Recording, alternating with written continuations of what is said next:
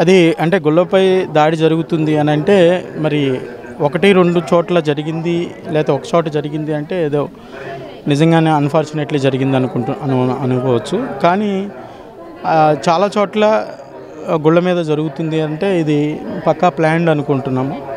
అంటే ఏదో ఒక విధంగా ప్రభుత్వాన్ని భ్రష్టు పట్టించడం కానీ పార్టీని భ్రష్టు పట్టించడం కానీ మనం చేయాలన్న ఉద్దేశంతో చేస్తున్న విధానంగా కనిపిస్తుంది. అంటే టీడీపీ వాళ్ళేమో వైసీపీ మీద చెప్తున్నారు వైసీపీ వాళ్ళేమో టీడీపీ వాళ్ళు అంటున్నారు అంటే ఇప్పుడు మా ఇంట్లో ఒక పండగ చేసుకుంటున్నప్పుడు భోజనానికి అందరినీ పిలిచాను. పిలిచిన తర్వాత నా ఇంటికి వచ్చిన పండగని నేను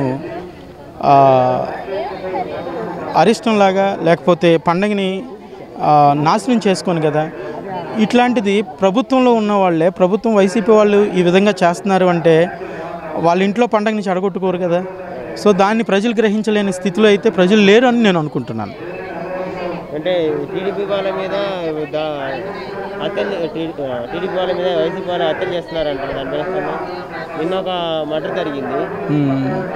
సరే ప్రభు అంటే ప్రభుత్వాలు ఏ ప్రభుత్వంలో ఉన్నా కానీ హత్యాకాండ అనేది హత్యలు అనేవి జరుగుతూనే ఉన్నాయి.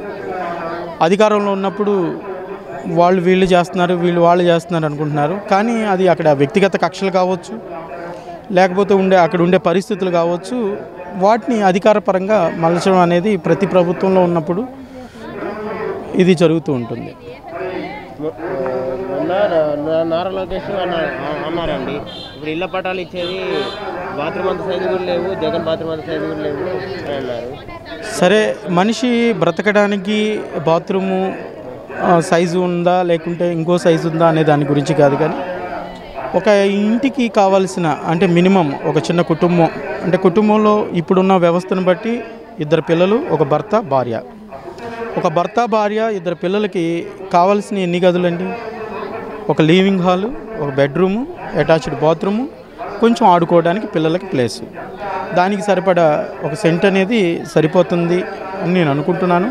విలేజెస్ లెవెల్లో ఒకటిన్నర సెంట్ ఇస్తున్నారు. ఎందుకంటే వాళ్ళకి పశువులు ఉంటాయి పక్షులు ఉంటాయి. సో వాటికి ఒక అరసెంట్ కింద ఇవ్వడం అనేది జరిగింది.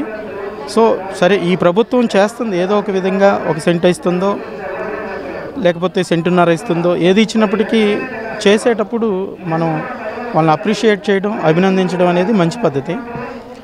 లేదు మనం ఉన్నప్పుడు కొన్ని మనం ఎంత చేసాం? ఇప్పుడున్న వాళ్ళకి చేస్తున్నప్పుడు మనం అప్రిషియేట్ అనేది ఇక రాబోయే రాజకీయ రోజుల్లో ఏమన్నా జరిగిద్దేమో కానీ ఇప్పుడు వరకున్న రాజకీయాల్లో ఒకరిని ఒకరిని విమర్శించుకోవడం అనేది కరెక్ట్ కాదు. ఏదైనా మంచి పని చేసేటప్పుడు అది ఏ ప్రభుత్వం చేసినా కానీ దాన్ని స్వాగతించడం అనేది మంచి పరిణామం కింద వచ్చే జనరేషన్ అన్న గుర్తించాలని నేను అనుకుంటున్నాను. కరోనా టైంలో జగన్ గారు ఎలా చేశారండి? నిజంగానే కరోనా టైంలో కరోనా వచ్చిన తర్వాత రెండు వేల ఇరవై వ్యవస్థ సంవత్సరం అనేది చాలా క్లిష్టమైన పరిస్థితి అది. ప్రపంచమే అంటే ప్రపంచ దేశాలే అస్తవ్యస్తం అయిపోయిన పరిస్థితి. ఆర్థికంగా కానీ ఎన్నో ఉద్యోగాలు లేక కూలీలు లేక ఒక్కొక్కల జీవన ప్రమాణాలు అనేవి అతలాకుతలం అయిపోయినాయి. ఒక్కొక్కరు మీరు ఈరోజు రోడ్ల మీద చిన్న చిన్న వ్యాపారాలు చేస్తున్న వాళ్ళు పెరిగిపోయారు. మీరు ఏ వ్యవస్థ అయినా చూడండి. ఏ ఉద్యోగ వ్యవస్థ ఏదైనా కానీ ఫ్యాక్టరీలే కావచ్చు లేకపోతే స్కూల్సే కావచ్చు చాలా చాలా వ్యవస్థల్లో కూడా డబ్బు లేక చిన్న చిన్న ఏది దొరికితే అది చేసుకునే పరిస్థితి రోజుల్లో ఏదో ఒక పథకం కింద ఏదో ఒక పథకం కింద ప్రతి పేదవాడిని ఆదుకున్న ప్రభుత్వం ఇది. ఎన్నో పథకాలు వచ్చినాయి. ఎన్నో పథకాల ద్వారా వచ్చినాయి. వాటన్నిటినీ ఆదుకున్న గవర్నమెంట్ ఇది. ఆ ద్వారా ప్రజలకి ఎంతో కొంత లబ్ధి చేకూడి వాళ్ళ జీవన ప్రమాణాలకి మెరుగుపరుచుకోవడానికి ఉపయోగపడిందని నేను అనుకుంటున్నాను. టీడీపీ వాళ్ళు ఏమంటున్నారంటే అభివృద్ధి జరగట్లేదు పథ- పథకాలు ఇస్తే అభివృద్ధి ఏమొస్తుంది? డబ్బు డబ్బులు తప్ప అకౌంట్లో డబ్బులు తప్ప అభివృద్ధి ఏముంటుంది? అని అంటున్నారు. సరే అభివృద్ధి అనేది దీర్ఘకాలిక అభివృద్ధి ఉంటుంది స్వల్పకాలిక అభివృద్ధులు ఉంటాయి. నాకు తెలిసి దీర్ఘకాలిక అభివృద్ధిలో నాకు తెలిసి ఎడ్యుకేషను ఎంప్లాయ్మెంటు ఇవి కావాలి.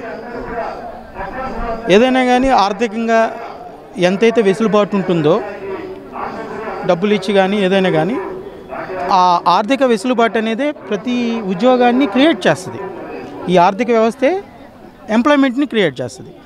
సో వీళ్ళు ఖర్చు పెట్టారు అంటే ఏంటి? ఇంకో ఎంప్లాయ్మెంట్కి క్రియేట్ అవుతుందని నేను భావిస్తాను. వాళ్ళు ఖర్చు పెడుతున్నారు లేకపోతే రూపాయి పెడుతున్నారు అని అంటే వృధాగా ఖర్చు పెడతలేదు లేకపోతే వేరేగా ఖర్చు పెట్టలేదు. వాళ్ళ ప్రమాణాలు పెంచుకోవడం కోసం ఖర్చు పెడుతున్నారు.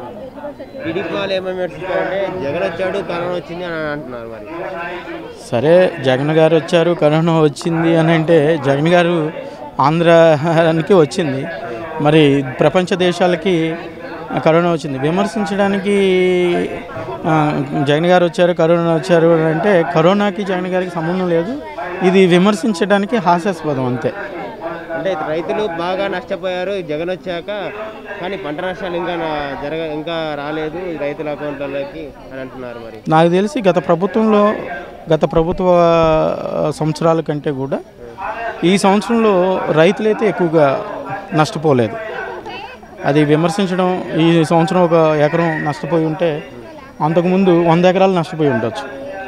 సో అప్పటికి ఇప్పటికి నష్టాలు పోలిస్తే ఆ రైతులు ఎక్కువగా అయితే ఈ ప్రభుత్వంలో నష్టపోలేదు అంటే రైతులు ఏమంటున్నారంటే మద్దతు ధర ఇంకా లభించలేదు అని కొందరు అంటున్నారు. మద్దతు ధర లభించకపోయినా వారికి కావాల్సిన టైంకి సబ్సిడీ రూపంలో తర్వాత రైతు బాధలు తెలిసిన నాయకుడిగా వారికి ప్రతి విషయంలో కూడా ఆర్థిక సహాయం అనేది జగన్ ప్రభుత్వం అనేది చేస్తుంది. మద్దతు ధర కూడా లభించే అందించే ప్రయత్నాలు అయితే ఈ ప్రభుత్వం చేస్తుంది అనుకుంటున్నాను ఈ వీడియో గనక మీకు నచ్చినట్లయితే లైక్ చేయండి షేర్ చేయండి. మరిన్ని వీడియోస్ కోసం మా ఛానల్ను సబ్స్క్రైబ్ చేయండి.